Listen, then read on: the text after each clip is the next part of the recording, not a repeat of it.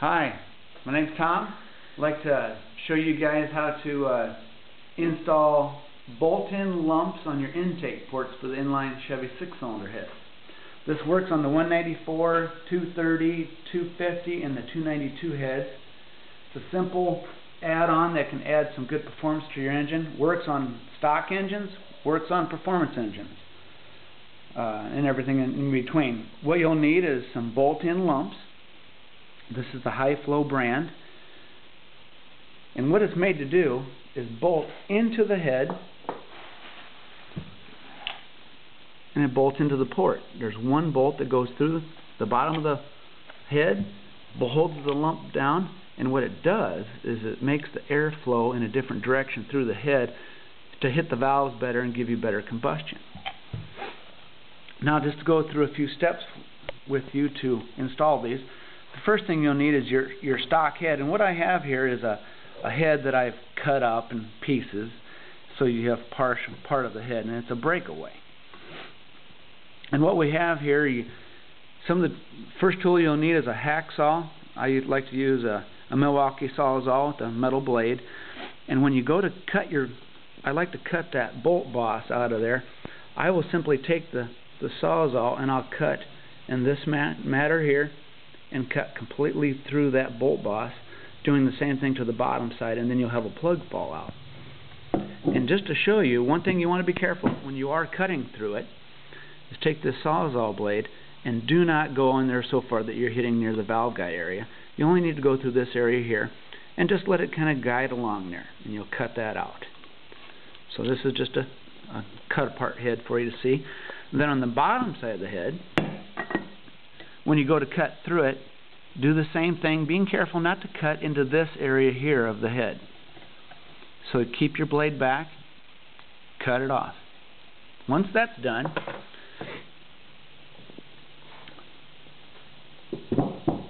I like to take a high-speed air grinder with a carbide bit and I'll take that and I'll grind this area smoother. It doesn't have to be ground into the head, just grind it smooth. So you're just trying to get rid of the old bolt boss and just get it smooth. Do the same thing to the top side of the head.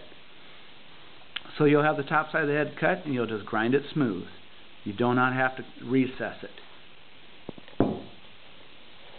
And you can see the top side of the head right here in this port right here. You can see how I've ground it smooth. So it's not cut out. Okay. The next step you'll need to do is, I like to use this set right here. You can buy this on eBay. It's called a counter bore set and it's used for countersinking cap screws. This is a cap screw. This is the one you use to actually hold your head down uh, inside that bolt with the intake port boss there. I like to use this tool here and what it does, if you look at this hole right here, you'll you'll come through the top of your head, which I don't show you right now. You'll actually take this top of your head, and a mill works the best. A large drill press will work also, but it has to be able to go in low speed. You'll actually insert this right through the head, right there, and go through this. And this will give you the, the area you need to thread your hole for the plug, and then you continue down through the head continue down through the head and all you want to do is spot face that and give yourself a flat surface. So you have to cut a little deeper on that side and shallower on this side and once it's flat that's what you need to, to set that head bolt on. Gives you a flat surface to seat it. So that's all you're trying to do with that. This is a half inch counter bore.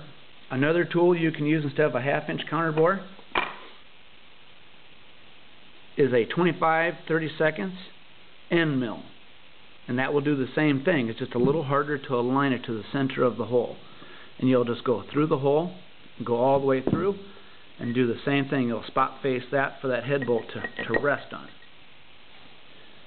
There's those parts. The next thing you'll want to do with your head, I'll show you on this one here. You want to take your head bolt, we're going to mark the location and you can see the lines I have drawn on here. You want to keep your bolt inside those lines. If you go outside of those lines, you can see here in this picture here, you can hit water. This is your water jacket. And I don't know how well you can see that down there, but there is water into this area of your head on both sides. So what you want to do is keep your hole inside between those two lines and you'll be safe. So what you do is you put your bolt on this side of the head, the, the face side of your head, the head surface where it touches the block. And then you'll want to, and the reason I lay that there is I use it for a reference to mark my bolt hole location. And you, the bolt can go anywhere in between. I don't like to put it in the middle. I like to put it closer to the side and halfway between the edge of the